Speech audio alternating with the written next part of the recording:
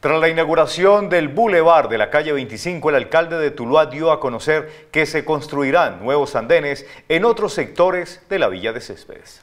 Ahora que estábamos revisando la entrega de este centro cultural también es necesario eh, terminar todo alrededor del centro cultural en andenes para que el acceso al mismo centro cultural sea mucho más fácil. Entonces esta cuadra la tercera y la segunda pues la vamos a habilitar también.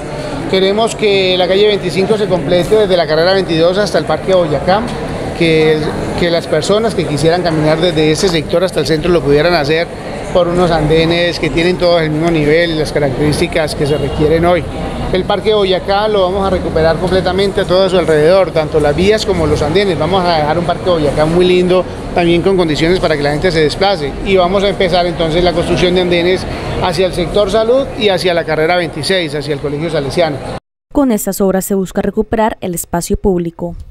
Bueno, sabemos que ya a este año hay unas proyecciones, sabemos hasta dónde podemos llegar aproximadamente y quisiéramos entonces poder dejar todo esto ya proyectado, los presupuestos, los proyectos para que la continuidad de las siguientes administraciones tuviese un norte también en la recuperación y en la construcción de andenes y espacios públicos para la ciudadanía.